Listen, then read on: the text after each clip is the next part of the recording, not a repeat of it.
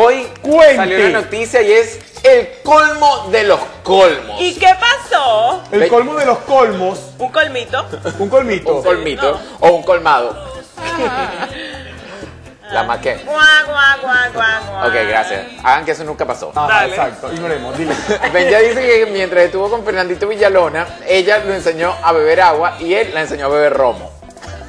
Eh, sí. Le achaca todas las culpas de sus desgracias a él, de sus adicciones y todo lo demás. Al pobre Fernandito, esos labios que jamás han tocado el alcohol. ¿Sabes qué? ¿Qué? Por primera vez en la historia, por primera vez en la historia de este programa, yo le creo a Bella.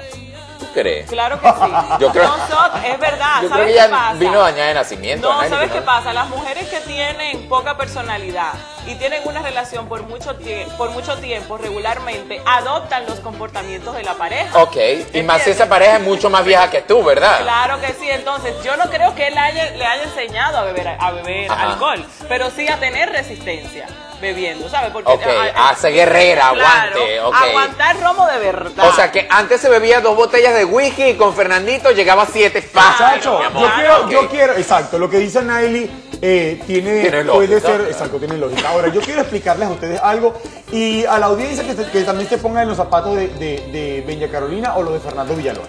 Si yo soy el Mayimbe y tengo dos y tres bailes diarios y, y tuve una vida desordenada, porque en ese entonces el Mayimbe todavía bebía y utilizaba productos huela y todo el cuento. Bien, con Fernando Villalona, porque es su vida y, y- y así él la disfrutaba. Entonces, se enamora de Benja Carolina. Ajá. Ellos comienzan a salir juntos. ¿Quién obliga a quién a meterse droga? ¿Quién obliga a quién a, a tomarse un vaso de whisky, de ron, de, de vino? ¿Quién obliga a quién? Nadie. Yo, perdón, Claro. ahora yo voy a explicarlo la- claramente las cosas.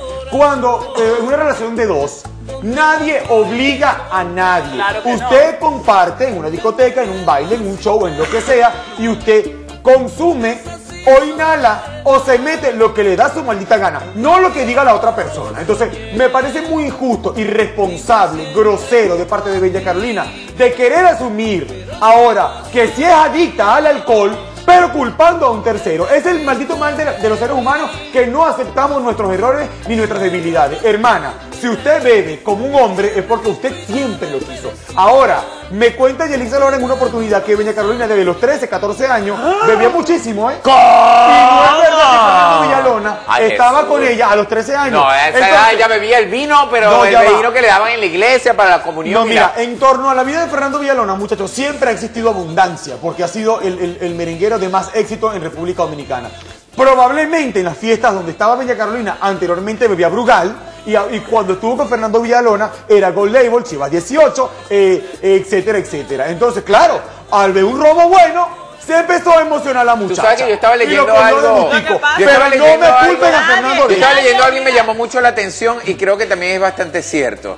Eh, supuestamente Fernando habla de una rehabilitación desde el año 95. Yo no sé si sea verdad, yo no creo eh, mucho que sea verdad. A lo que yo sí creo es que Benji y Fernandito terminaron en el 2005 sus relaciones.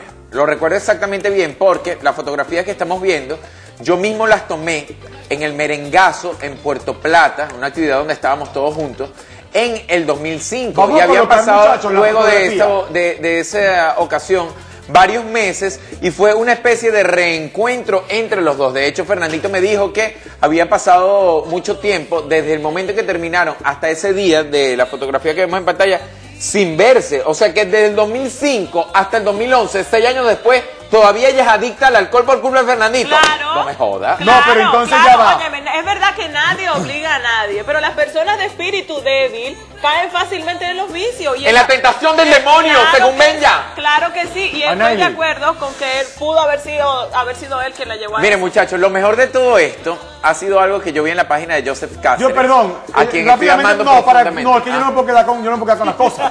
Yo sé que la, la- la mujer se deja influenciar por No, el no se hombre. quede con la cosa, compártala. Exacto, la mujer se puede dejar influenciar de- del hombre, pero yo no creo realmente y ratifico que Beña Carolina, este, mira, Fernando Villalona nunca ha querido hablar de, de Beña Carolina por. Porque es un caballero. Porque es un caballero. Y es injusto que Beña Carolina ahora, que no tiene noticia y que no tiene los 15 mil pesos para cobrar por entrevista, ahora quiera aprovecharse de la imagen de Fernando, que sí se rehabilitó, que sí salió de todos los escándalos y que realmente sigue su carrera en, en ascenso. Me parece muy grotesco, Doña Carolina, que, que te meta con Fernando Villalona. Y me tendrás de frente porque soy defensor del, del Mayimbe y es un ejemplo de superación y de que las cosas que se hacen mal se pueden hacer bien de ahora en adelante.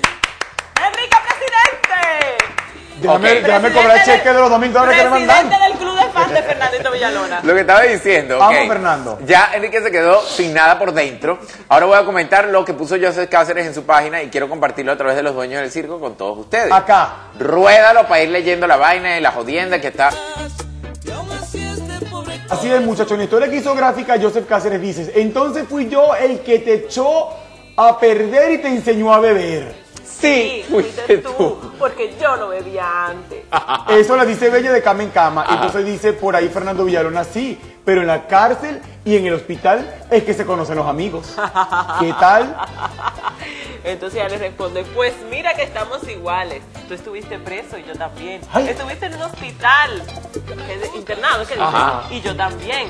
Tú no me viniste a ver, ni yo tampoco te fui a ver a ti. Así que... Estamos en paz. pa' qué perra, mi amor. Mira con collarín y todo maldiciendo al, al Mayimbe. Pues espera, la bella. Ahí entra Coco Cabrera. Pero van a seguir. Esta gente no me deja, dor- no deja dormir a uno hablando plepla, que no sé qué vaina. Entra Vikiana también y hasta la espíritu, que la va- vaina. Jesús, no me mencionen ese espíritu malo. Diciendo de Doña Carolina y Viquiana también por allá que y diablo. O sea que, que, que Viquiana es ibaeña.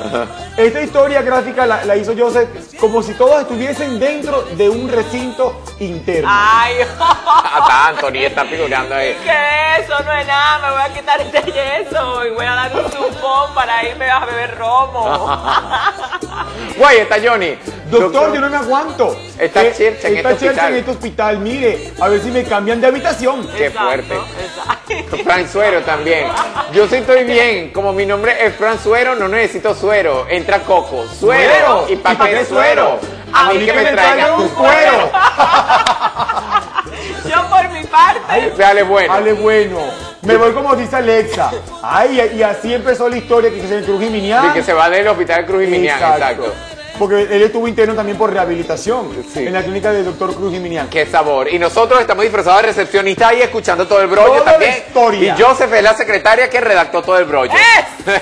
¡Esa! Termina Fernando Villalona. Está buena. Ah, me gustó. Está buena la creatividad. Qué creatividad. Me le dio mucha risa.